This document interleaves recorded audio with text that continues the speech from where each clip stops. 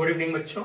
This is Santosh Srivastava from super sixty education जैसा कि आप देख रहे होंगे सेंटेंस इंप्रूवमेंट और ये based on different forms of word ये चैप्टर वाइज सीरीज़ है, जो सीरीज़ आपको दी जा रही है, क्योंकि लॉकडाउन में आप घर पे हैं और आगे जो एग्ज़ाम्स होंगे, उनके लिए आप बेहतर प्रिपरेशन कर सकते हैं।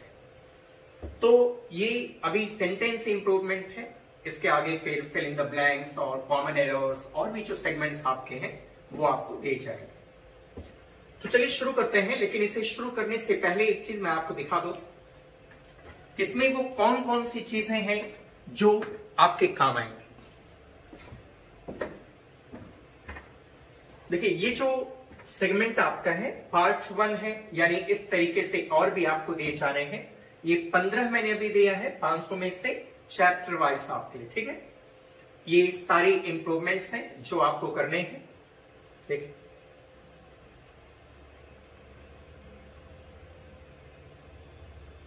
ये पंद्रह थे, और ये सबसे इंपॉर्टेंट जो चीज़ है, जो रेगुलरली आपके एग्ज़ाम्स में आपसे पूछे जाते हैं वर्ब्स के रूप में मैंने दिया हुआ है आपको।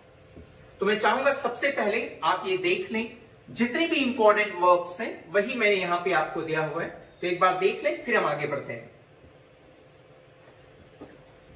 जैसे ये ब्रॉडकास्ट है तो आप जानते हो ये इरेग्युलर वर्ब्स में आते हैं, जिनकी तीनों फॉर्म्स एक होती है।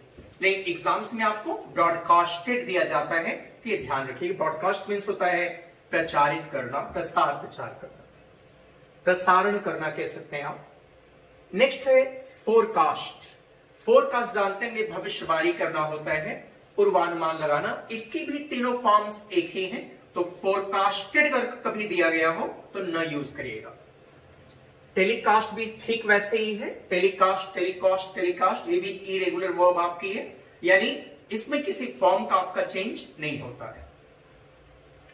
नेक्स्ट है ब्लीड अब यहाँ से देखिए चेंज हो गया। ब्लीड फ़र्स्ट फॉर्म है। ब्लीड मीन्स खून निकलना तो ब्लड और ब्लेड ये इसकी सेकेंड और थर्ड फॉर्म नेक्स्ट है लीड लीड मीन्स होता है नेतृत्व करना, आगे ले जाना तो इसकी सेकेंड और थर्ड फॉर्म लेड और लेड हो जाएगा नेक्स्ट है लाइट लाइट मीन्स होता है प्रकाशित करना तो लिट और लिट हो जाएगा सेकेंड और third form next speed speed means गति देना तो स्पेड और स्पेड हो जाएगा नेक्स्ट है नील. नील मीन्स झुकना तो नेल्ट और नेल्ट हो जाएगा नेक्स्ट है बेसेच बेसेच मीन्स तरह से प्रार्थना में होना मीन्स अनुनय विनय करना विनय करना तो बी सॉट और बी साठ ध्यान से देख लीजिएगा बीसेच है फ़र्स्ट फॉर्म लेकिन सेकेंड फॉर्म बी साठ और बी साठ थर्ड फॉर्म भी है नेक्स्ट है सीक सीक मीन्स होता है चाहना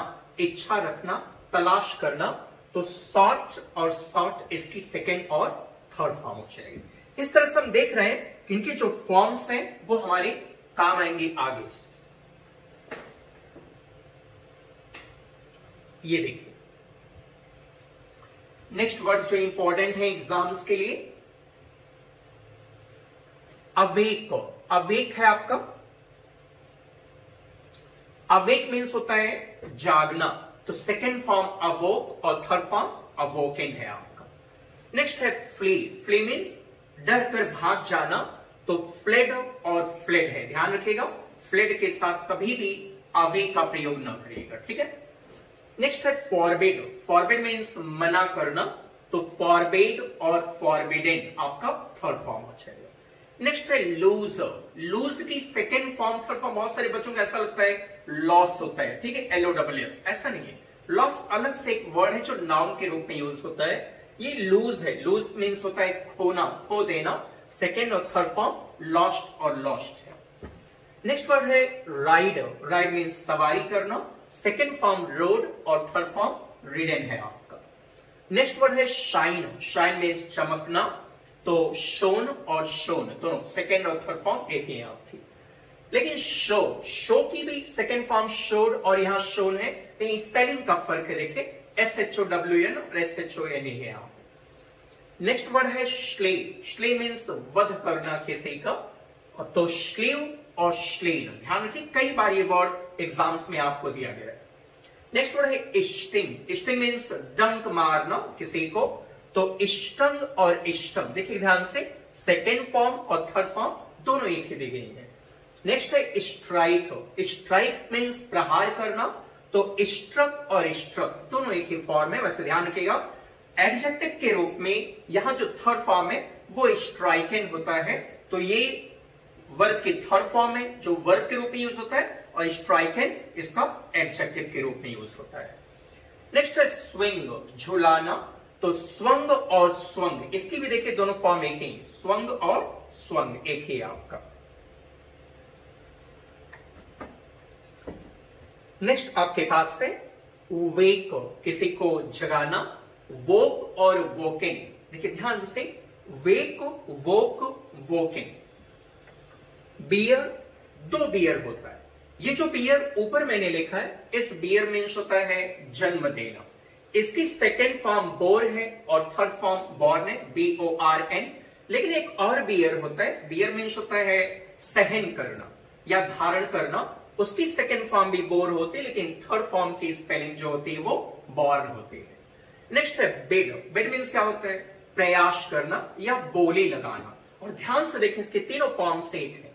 बेड बेड और बेड तीनों मीन्स बोली लगाना या प्रयास करना। लेकिन एक और बिड है, जिसके मीन्स होता है विदा देना किसी को। तो इसकी सेकेंड फॉर्म बेड और थर्ड फॉर्म बिडन है। नेक्स्ट है फाल बहुत इंपॉर्टेंट वर्ड्स ये दोनों हैं आपकी। ये जो फाल है, इसके मीन्स गिरना। इसके सेकेंड फॉर्म फेल और थर्ड फॉर्म फॉलन है। लेकिन यही फेल देखिए, यहाँ भी है फ़र्स्ट फॉर्म के रूप में। इस फेल मीन्स होता है, किसी पेड़ इत्यादि को काट देना। इस फेल की सेकेंड और थर्ड फॉर्म फेल्ड और फेल्ड है आपका। नेक्स्ट वर्ड है फाइंड ये फाइंड मीन्स प्राप्त करना, पाना। इसकी सेकेंड फॉर्म देखिए फाउंड और थर्ड फॉर्म भी फाउंड है। लेकिन फाउंड खुद एक वर्ड है। फाउंड मीन्स नींव रखना, स्थापित करना। इसकी सेकेंड फॉर्म फाउंडेड और फाउंडेड होता है। ये सारी वर्ब तैयार करेगा। ये वर्ब्स मैंने चुन करके लिया हुआ यहाँ पे, वही वर्ब्स जो एग्ज़ाम्स वगैरह में दी जाती है। नेक्स्ट है ग्राइंड ग्राइंड मीन्स पेशना होता है। तो ग्राउंड और ग्राउंड देखिए ध्यान से second form ground third form भी ग्राउंड होता है। ग्राउंड में जानते होंगे, ज़मीन भी होती है और कारण भी होता है। नेक्स्ट है हैंग बहुत बार एग्ज़ाम में दिया गया होगा। याद होगा आप हैंग मीन्स फांसी पर लटकाना होता है। जिस हैंग में फांसी पे लटकाना होता है उसकी सेकेंड फॉर्म और थर्ड फॉर्म हैंड और हैंग होता है। लेकिन एक और हैंग होता है, इस हैंग मीन्स लटकाना, जैसे कोई पिक्चर वगैरह आप लटकाते हैं, तस्वीर वगैरह, वो हंग सेकेंड फॉर्म और थर्ड फॉर्म भी इसका हंग होता है। और ये लास्ट है आपका। बहुत इंपॉर्टेंट ये भी है, ले बहुत बार एग्ज़ाम्स में आपको दिया गया। एल ए वाई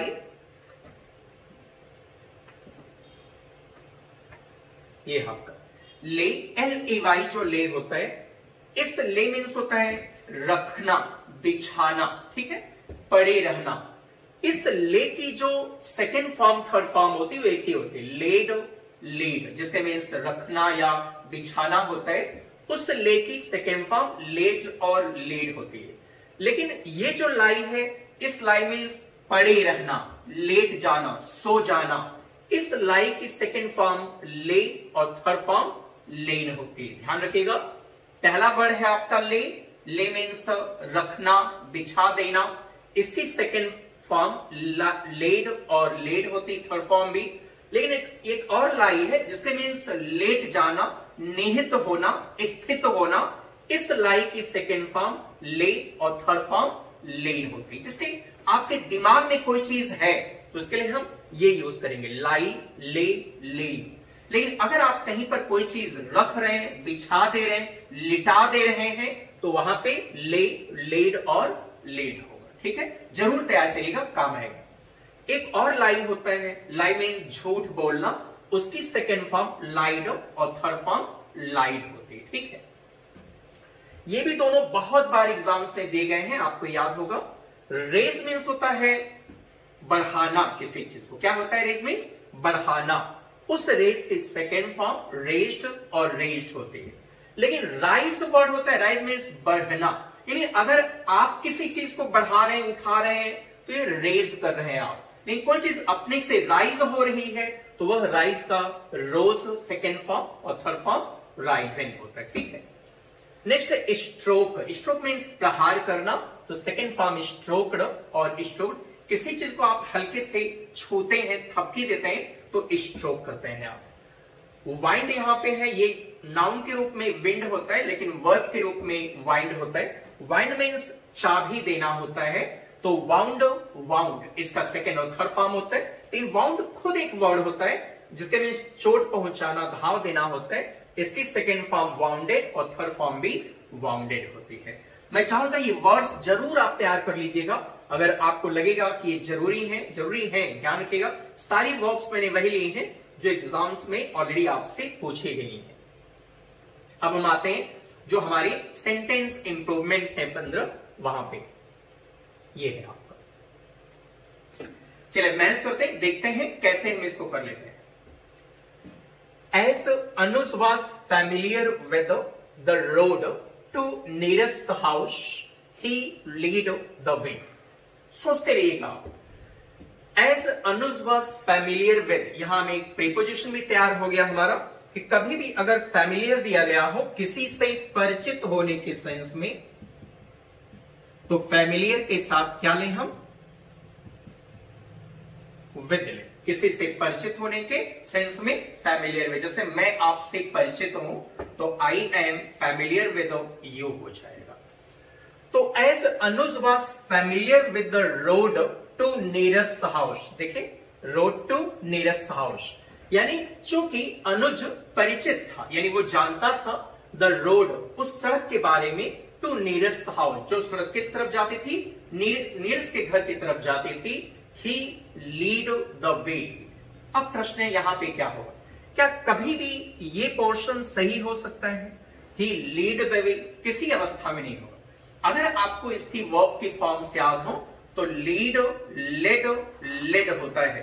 तो ही के साथ कभी लीड तो आएगा नहीं, क्योंकि तो अगर लीड आता तो इसके साथ क्या जुड़ा होता? एस नहीं? और ये इसलिए भी नहीं आ सकता है क्योंकि प्रेजेंट हो ही नहीं सकता है, क्योंकि यहाँ पे देखिए क्या है आपका? पास्ट दिया गया है। इसका मतलब यहाँ लीड या लीड्स तो कभी नहीं आएगा। जब भी आएगा पास्ट आएगा। तो क्या होगा देखें? क्या लेड द वे होगा, या फिर लेड अवे होगा, या लीडिंग वेज होगा। एक एक देखते हैं। क्या लीडिंग वेज हो सकता है? क्या ये हो जाएगा? ही लीडिंग वेज कभी नहीं होगा। बिना वर्ब के तो आप यूज़ नहीं कर सकते हेल्पिंग वर्ब के। फिर लेड अवे अगर वो नीरस के घर की तरफ़ लेके गया तो लेड अवे दूर लेकर चला गया। ऐसा तो नहीं आएगा। और ये पास्ट में देखिए है आपका लेड लेड आपको अभी बताया मैंने। लीड की सेकेंड फॉर्म क्या होती है? लेड इसलिए यहाँ पे कौन सा ऑप्शन बेस्ट होगा? ए ऑप्शन तो हो जाएगा as Anuj was familiar with the road to nearest house चूँकि अनुज नीरस के हाउस की तरफ़ जो सड़क जाती थी, उससे परिचित था, इसलिए ही लेड द वे इसलिए उसने नेतृत्व किया, यानी वह लोगों को लेकर नीरस के घर की तरफ़ चला। तो यानी हमारा ऑप्शन कौन सा हो जाएगा? ये वाला ऑप्शन हो जाएगा he led the way okay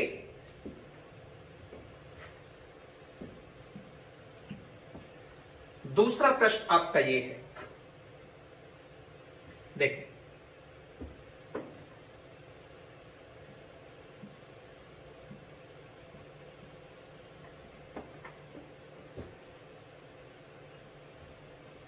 ये है आपका, ठीक है? The prince has been slayed his rival मैंने अभी आपको पहले ही वो वर्ब्स की जो फॉर्म्स थी, वो मैंने बता दी थी जानबूझ के, ताकि यहाँ पे वो चीज़ें आप यूज़ में ले सकें। तो अगर आपको याद हो, अगर आपको याद हो तो ये जो श्ले है, श्ले श्ले मीन्स होता है बद करना कैसे का तो श्ले की जो फ़र्स्ट फॉर्म है स्ले हो गई। सेकेंड फॉर्म आपको याद है? श्लेव और थर्ड फॉर्म है श्लेनो, है ना? तो पहली चीज़ की ये तो यहाँ कभी नहीं हो, नहीं होगा। अब the prince has been slayed his rival अगर ये हैज़ बीन स्लेन भी हम लेते हैं थर्ड फॉर्म के रूप में तो ये पैसिव का स्ट्रक्चर हैज़ बीन के साथ वर्ब की थर्ड फॉर्म आप लेंगे तो पैसिव का स्ट्रक्चर होगा जो कि यहाँ दिया नहीं गया है। यानी जब भी होगा, ये एक्टिव वॉइस में होगा आपका, ठीक है? यानी प्रिंस जो है, उसने अपने राइवल को क्या कर दिया है? मार दिया है, उसका वध कर दिया है। तो हैज़ स्लीव कभी होगा? हैज़ के साथ वर्ग की कौन सी फॉर्म आएगी? थर्ड फॉर्म गलत। विल स्लीव विल के साथ भी वर्ग की कौन सी फॉर्म आएगी? फ़र्स्ट फॉर्म गलत। और ये ऑलरेडी गलत है आपका श्लेड कभी होता नहीं है तो कौन सा हो जाएगा? हैज़ स्लेन क्योंकि हैज़ के साथ वर्ब की कौन सी फॉर्म आएगी? हमेशा थर्ड फॉर्म आएगी। ठीक है? यानी नो इंप्रूवमेंट नहीं होगा सी ऑप्शन हो जाएगा। ठीक है बच्चों? चलिए, आगे बढ़ते हैं। ये आपका थर्ड क्वेश्चन है। Such discrepancies can be founded in the work culture of other countries work culture क्या होता है? कार्य करने की जो कल्चर होती, जो रीति होती है जो तरीका होता है, वो वर्क कल्चर होता जैसे कहते हैं ऑफ़िस कल्चर वैसे ही work culture work culture of other country दूसरे देशों के कार्य करने की जो पद्धति है, जो रीति है, रिवाज है, वो सच डिस्क्रिपेंसीज डिस्क्रिपेंसीज याद है? भिन्नताएँ, ठीक है? तो such discrepancies can be founded can be founded ये पैसिव वॉइस में हो जाएगा, है ना? अब कैन बी फाउंडेड ले रहे हैं तो आपको याद होगा ये चीज़। अगर आपको याद हो कि फाइंड इसकी सेकेंड और थर्ड फॉर्म याद है आपको? फाउंड और फाउंड और एक वर्ड खुद है आपका। फाउंड जिस फाउंड मीन्स होता है स्थापित करना या नींव रखना। इसकी सेकेंड और थर्ड फॉर्म फाउंडेड होती है। तो कैन बी फाउंडेड जो आपका है, क्या पैसे वैस में नींव रखने का भाव यहाँ पे है? यहाँ पे पाई जा सकती है है ना? यानी इस प्रकार की भिन्नताएँ अन्य देशों के कार्य पद्धति में पाई जा सकती हैं। अगर हमको पाई जा सकती हैं दिया हुआ है और यहाँ पे फाउंडेड है तो पहली चीज़ ये फाउंडेड नहीं होगा, जब भी होगा, पानी के सेंस में होगा। तो फाइंड की सेकेंड और थर्ड फॉर्म क्या हो जाएगी बच्चों? फाउंड यही होगी ना? तो जाएगा सच डिस्क्रिपेंसीज यानी इस प्रकार की भिन्नताएँ कैन बी जब भी कैन बी के बाद या इज़ एम आर वाज वर्ग के बाद has been have been had been के बाद, अगर वर्ब की थर्ड फॉर्म है तो हमेशा वो पैसे मैश है, यानी यहाँ सब्जेक्ट कार्य नहीं कर रहा है, उस पर कार्य हो रहा है। तो इस प्रकार की भिन्नताएँ पाई जा सकती हैं in the work culture of other countries can be found देखे, यहाँ पे है आपका ये, कुछ कुड हैव बीन फाउंडेड यहाँ भी देखिए फाउंडेड है, यानी स्थापित की जा सकती थी। क्या इस तरीके का भाव है? नहीं। कुड बी फाउंडेड यहाँ भी वही भाव है। केवल एक ही ऑप्शन था, जहाँ आपको पानी के सेंस में इसका यूज़ किया गया, ठीक?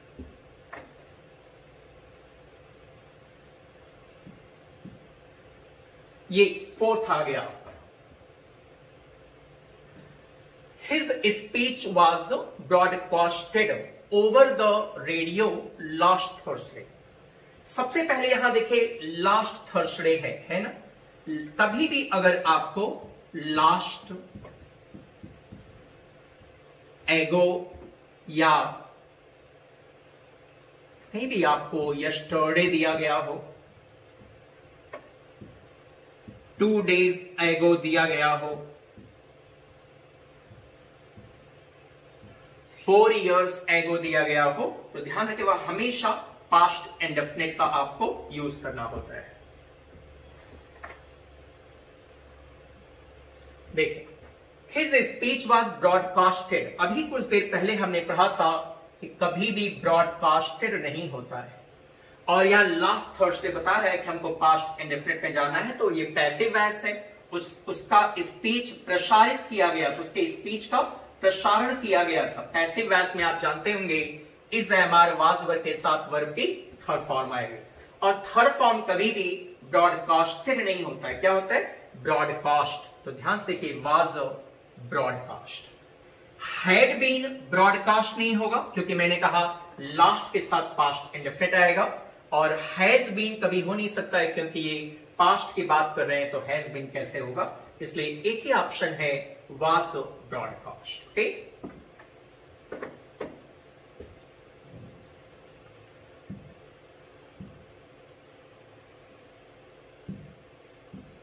नेक्स्ट ऑप्शन है पांचवा।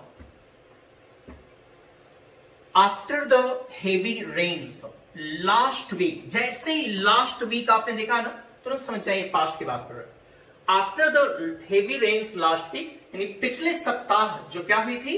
भारी बारिश हुई थी। उसके बाद, यानी उसके बाद the water in the lake जो झील का पानी था raised another two feet common sense ले बच्चों क्या यहाँ पे वो जो वाटर का लेवल था, वो क्या बढ़ जाएगा या बढ़ा दिया जाएगा? अगर पिछले सप्ताह तेज बारिश हुई थी, भारी बारिश हुई थी तो वाटर का लेवल बढ़ेगा या बढ़ाया जाएगा? क्या होगा?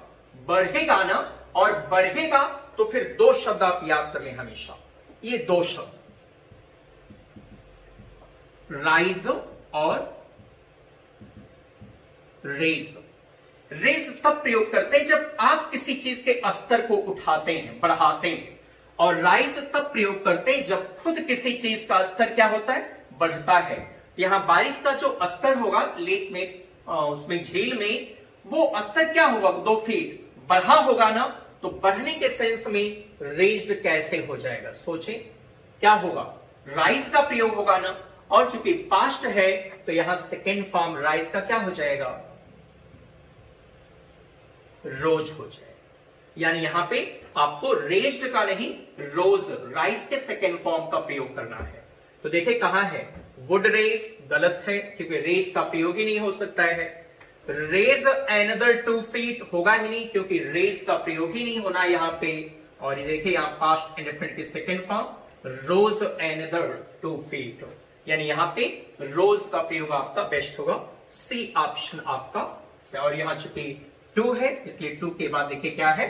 फीट का प्रयोग किया जाए, ठीक है?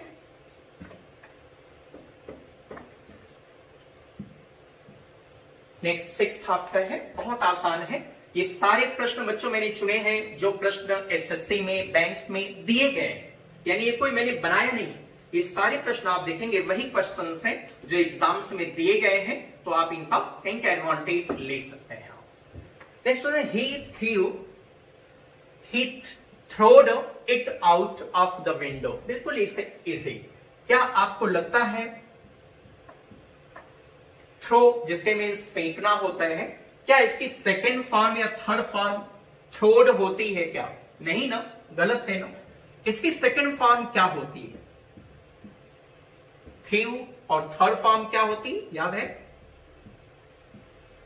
थ्रोन यही होती है ना? तो he throwed it out of the window. Hindi क्या निकल रही उसने इसे कमरे से बाहर फेंक दिया। सिंपली पास्ट एंड डेफिनेट है। तो यहाँ कौन सी फॉर्म आएगी? कौन सी फॉर्म आएगी? सेकेंड फॉर्म अब सेकेंड फॉर्म है थ्रू है ना? आगे बढ़ने की आवश्यकता ही नहीं है। He threw it out of the window throw कभी नहीं होगा, क्योंकि ही के साथ थ्रो कभी आ ही नहीं सकता किसी केस में। और थ्रोन कभी नहीं होगा क्योंकि थ्रोन के बिना हैज़ हैव हैड के कभी आ नहीं सकता है। इसलिए यहाँ पे एक ही ऑप्शन आपके पास है। क्या गए थ्री हो जाए ओके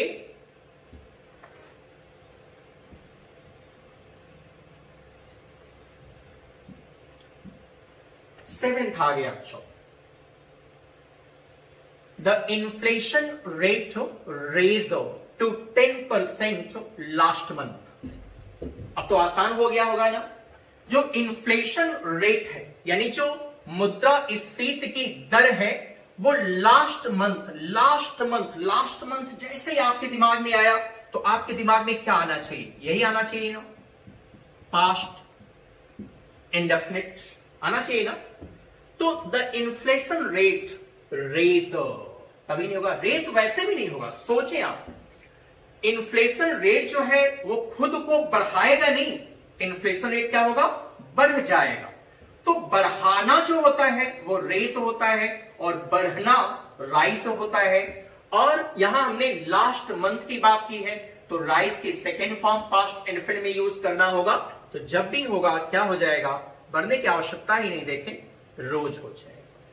राइस कभी नहीं होगा, क्योंकि लास्ट मंथ है, इसलिए पास्ट इंडेफिनिट में सेकेंड फॉर्म आएगा, ये नहीं होगा। और रेस्ड होगा नहीं, क्योंकि मैंने कहा, वो इन्फ्लेशन रेट जो है, वो बढ़ाएगा नहीं, वो क्या होगा? बढ़ जाएगा। तो ऑप्शन क्या हो जाएगा आपका? रोज हो जाएगा।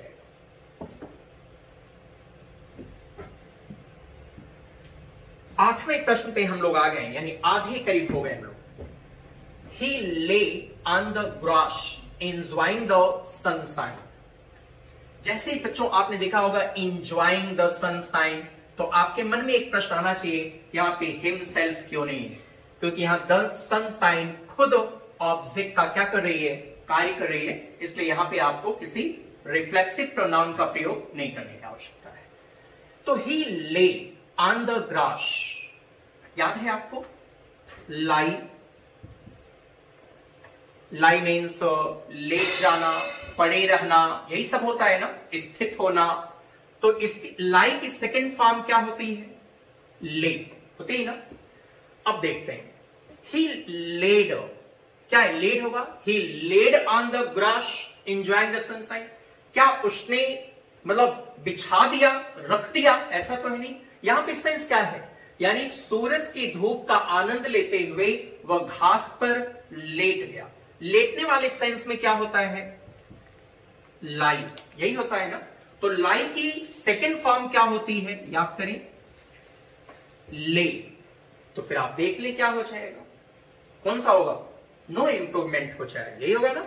नो इंप्रूवमेंट ये लेड होगा नहीं, क्योंकि याद हो गया होगा। लेड तो नेतृत्व करने के सेंस में हम यूज़ करते हैं लीड की सेकेंड फॉर्म ये लाइड होगा नहीं, क्योंकि इस लाइड का आपको याद होगा। ये जो लाई होता है, इसके मीन्स होता है झूठ बोलना। इसकी जो सेकेंड फॉर्म होती है, वो लाइड और थर्ड फॉर्म भी इसकी लाइड होती है। ये दोनों यहाँ नहीं होंगे। जब भी होगा, यहाँ क्या होगा? ले ही होगा पास्ट इंडेफिनेट में। ओके यानी यहाँ पे नो इंप्रूवमेंट की आवश्यकता है आपको।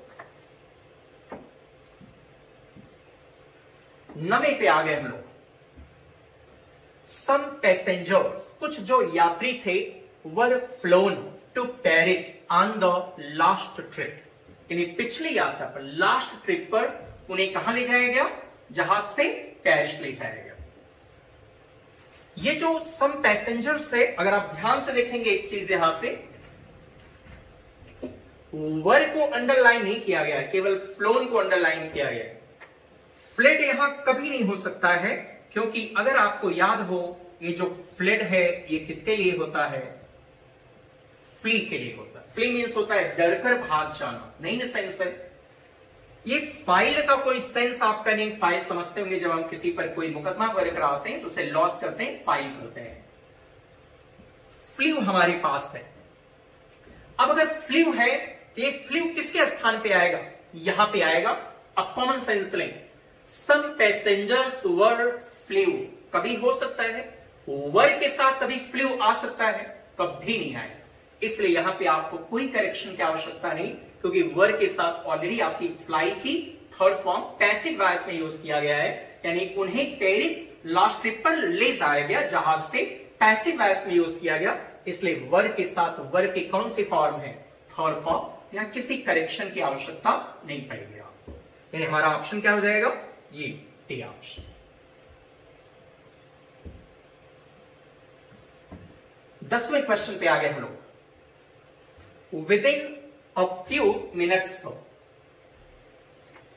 within a few years है sorry within a few years most of the most of the fertile land यानी अधिकतर जो उपजाऊ ज़मीन थी had underwent forcible indigo cultivation नील की जो खेती होती थी, उसे इंडिगो कल्टीवेशन कहते थे।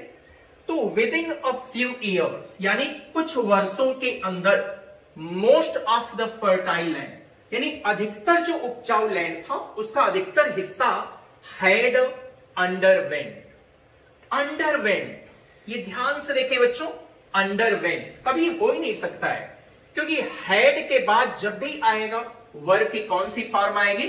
थर्ड फॉर्म तो ये देखें। अंडरगो होता है। अंडरगो मीन्स होता है बर्दाश्त करना, किसी चीज़ को, किसी चीज़ को सहन करना। तो अंडर गो की सेकेंड फॉर्म जो होती है, वो होती है अंडरवेंट और इसकी थर्ड फॉर्म होती है, क्या होगी? अंडर गॉन हो जाए यही होगी ना? तो अगर ये होगी तो हेड के साथ वर्ग की कौन सी फॉर्म आएगी? अंडरगान तो ये तो गलत हो गया आपका, कभी नहीं होगा। अब यहाँ देखते हैं। हैज़ अंडरवेंट कभी होगा? कभी नहीं। हैड अंडरगान बिल्कुल होगा, और यहाँ वास अंडरगान पैसिव का तो है नहीं आपका, एस एक्टिव का स्ट्रक्चर है तो फिर हैड अंडरगान हो जाएगा, ये ऑप्शन हो जाएगा। ठीक है?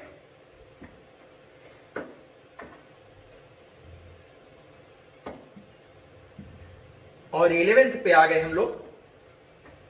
In our country women have opportunities to rise to top in every walk of life in our country हमारे देश में वीमेन हैव अपॉर्चुनिटीज़ ये तो सही है वीमेन हैव अपॉर्चुनिटीज़ औरतों के पास अवसर है अपॉर्चुनिटीज़ है टू राइज ये हमको देखना है। यहाँ पे हमको देखना है, यहाँ पे टू राइस होगा कि नहीं। ठीक है? तो याद करें राइस मीन्स होता है बढ़ना, उठना। और रेस मीन्स होता है उठाना। तो अगर हिंदी समझ रहे हो आप, हमारे देश में औरतों के पास अवसर है, क्या होने के? बढ़ने के, अपना स्तर उठाने के to top in every walk of life यानी जीवन के हर क्षेत्र में।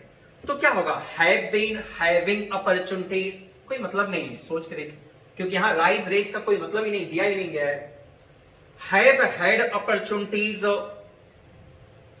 have had opportunities in our country हमारे देश में वीमेन हैव हैड अपॉर्चुनिटीज़ हमारी औरतों के पास अवसर रहे हैं टू टॉप इन एवरी अभी वर्ब तो है ही नहीं, बिना वर्ब के कैसे होगा ये? Have opportunities to raise to top have opportunities to raise उठाने का, नहीं, उनके पास अवसर है किस चीज़ का उठने का, यानी अपने लेवल को उन्हें उठाने का अवसर है तो have opportunities to rise rise means उठना नॉट उठाना. हैव अपॉर्चुनिटीज़ टू राइज तो यहाँ पे आपको किसी करेक्शन की आवश्यकता नहीं. ऑलरेडी वाक्य क्या है आपका? सही हो जाए। ठीक है?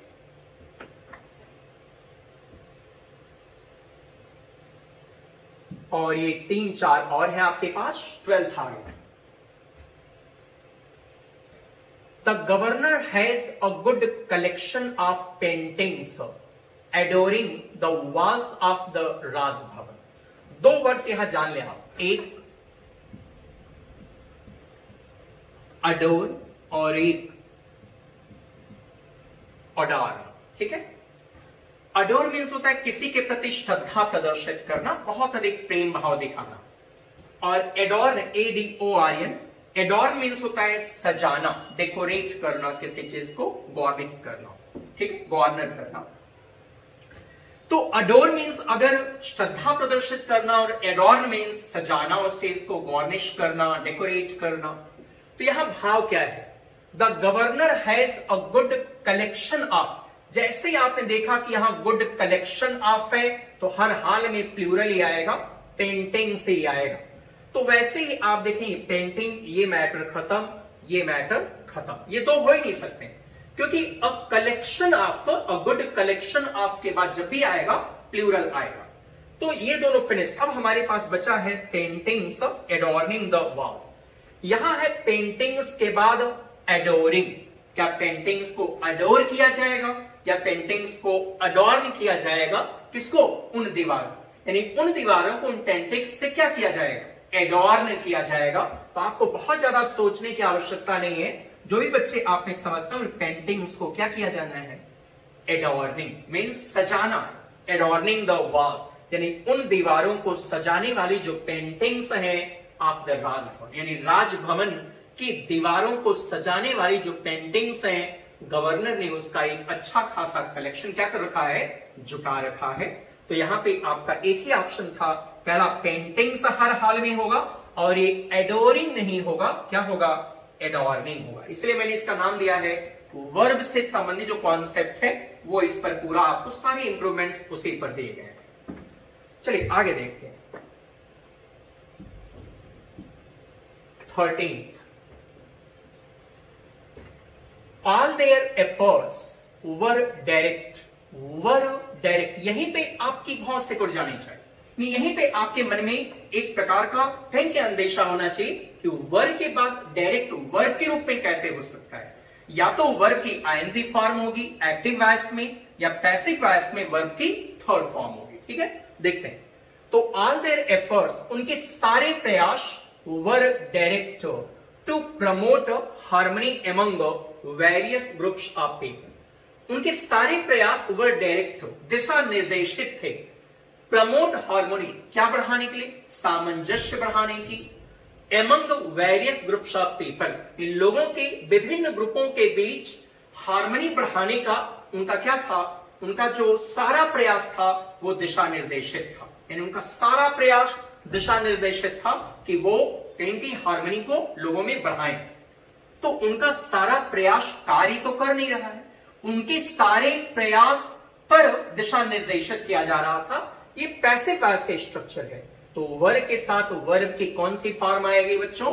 कौन सी फॉर्म थर्ड फॉर्म आएगी ना पैसे वैश में तो फिर देखें यहाँ पे वर्ब डायरेक्टिंग नहीं होगा, क्योंकि हमें पैसे का स्ट्रक्चर चाहिए।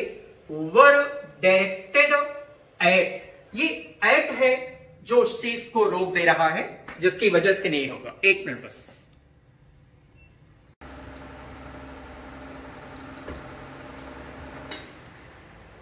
ये वर्ब डायरेक्टेड होगा ना? वर्ब के साथ वर्ब की थर्ड फॉर्म और फिर यहाँ डायरेक्टेड टू यानी हमारा कौन सा ऑप्शन हो जाएगा? शी ऑप्शन हो जाएगा। ठीक है?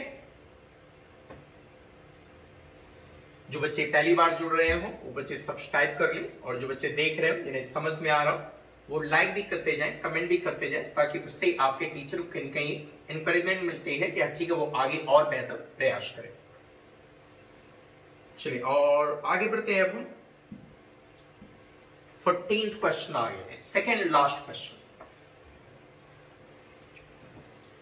one of the suspected players जैसे ही आपने देखा one of the suspected players ये भी ध्यान रखिएगा, कभी भी अगर आपको लगे कि वन ऑफ़ दिया गया है तो वन ऑफ़ के बाद हमेशा प्लेरल काउंटेबल नाउन दिया है। और बहुत बार एग्ज़ाम्पल में दिया जाता है। ठीक है? तो वन ऑफ़ के बाद हमेशा प्लेरल तो यहाँ तो फ़िलहाल आपका सेंटेंस इंप्रूवमेंट है नहीं। तो one of the suspected player से हैव तो तुरंत समझ जाए पहले आप। वन ऑफ़ के बाद जो नाउन रहेगा प्रोनाउन रहेगा, वो तो प्लूरल आएगा। लेकिन आपकी जो वर्ग होगी, वो वर्ग आपकी क्या होगी? सिंगुलर हमेशा याद रखेगा अगर वन आपका सब्जेक्ट है तो उसकी जो वर्ग होगी, वो हमेशा सिंगुलर होगी। तो यहाँ जो हैव है, ये यहाँ कतई नहीं हो सकता। यहीं पे गलत है। अब अगर आप बेहतर करना चाहते हैं, जो ऑप्शन है, वो देख लें। यानी ये ऑप्शन आपका कभी नहीं होगा। नहीं ना? तो one of the suspected players have open admittance यानी उसकी खुली स्वीकृति है that he had resorted to taking dope यानी उसने कहीं कहीं जो नशीली दवाएँ होती हैं ड्रग्स होती हैं, उसका उसने क्या किया है? सेवन किया है, सेवन किया है। उसकी खुली स्वीकृति है। यानी उसने खुले रूप से यह स्वीकार किया है। तो ये तो हो नहीं सकता है आपका। फिर हैज़ ओपनली एडमिटेड है, देखिए। हैज़, फिर आपका एडवर्ब आ गया और फिर वर्ब की थर्ड फॉर्म, है ना? आपको याद होगा जो एडवर्ब मैनर होता है, वो हेल्पिंग वर्ब और मेन वर्ब के बीच में आता है। फिर ओपेंड एडमिटेंस कभी होगा? कभी नहीं। तो यानी हमारा ऑप्शन क्या हो जाएगा? ये, कि one of the suspected players यानी उन प्लेयर्स में से एक प्लेयर जो संदिग्ध है हैज़ ओपनली एडमिटेड उसने खुले तौर पे स्वीकार किया है दैट की he had resorted to taking dope की उसने कुछ ऐसी दवाओं का सेवन किया है, जो दवाएँ क्या थी? रेस्ट्रिक्टेड थी। यानी हमारा कौन सा ऑप्शन हो जाएगा? से ऑप्शन हो जाएगा। ओके और ये हमारे पास लास्ट क्वेश्चन है fifteenth the problem lay that he was so unused to this lifestyle the problem lay यानी वो समस्या निहित थे। दैट की he was so unused to this lifestyle कि वह इस लाइफ स्टाइल के प्रति बिल्कुल अनयूज था। ऑप्शन देखते हैं। The problem was lying was lying वो समस्या पड़ी हुई थी। ये सेंस तो नहीं होगा हमारा ना ये। In that he is in that किस चीज़ में गलत है? द प्रॉब्लम ले इन द फैक्ट ये हो सकता है, ये पहले इतना पोर्शन द प्रॉब्लम ले इन द फैक्ट यानी वो जो समस्या थी ले इन द फैक्ट इस तथ्य में निहित थी दैट की ही वाज हो सकता है, और देखते हैं. The problem is the line फिर देखे यहाँ यहाँ इज़ लाइन यहाँ वाज लाइन ये भी नहीं होगा. इन द फैक्ट यानी अगर हम ध्यान से देखें तो हमारी सेकेंड फॉर्म है, समस्या निहित थी। यानी पास्ट लेना है, या पास्ट कौन सा हमारा है? यही ना? ले इन द फैक्ट इस सच्चाई में निहित थे। यानी वो समस्या इस तथ्य में निहित थी दैट की he was so unused this lifestyle कि वह इस लाइफ स्टाइल से पूरी तरह से क्या था? अनयूज था। हमारा ऑप्शन जो होगा वो पास्ट की वजह से ये होगा ले पास्ट इंडेफिनेट ये पंद्रह आपके पास सेंटेंस इंप्रूवमेंट के क्वेश्चंस और सारे क्वेश्चंस मैंने आपको एसएससी और बैंक में आए हुए ही दिए हुए हैं ताकि आपका फ़ायदा हो। आगे जो नेक्स्ट आपको पार्ट टू का वीडियो दिया जाएगा उसमें भी इसी तरह से पंद्रह क्वेश्चन आपको दिए जाएँगे और जो मेन वर्ब्स होंगे दी जाएँगी, ताकि उन वर्ब्स को आप तैयार कर लें और निश्चित है, विश्वास करें, वो वर्ब्स आपके एग्ज़ाम्स में रेगुलरली आपको दी जाती है। तो इस आशा और विश्वास के साथ कि आप सपोर्ट करेंगे, अन्य बच्चों को भी बताएँगे और ज़रूर अपने व्यूज़ यहाँ रखें, जो कमियाँ हो, जो अच्छाइयाँ हो, उन्हें शेयर करें, ताकि बेहतर और करने की कोशिश की जाए। थैंक यू मिलते हैं। Next part two sentence improvement के पार्ट टू में. Thank you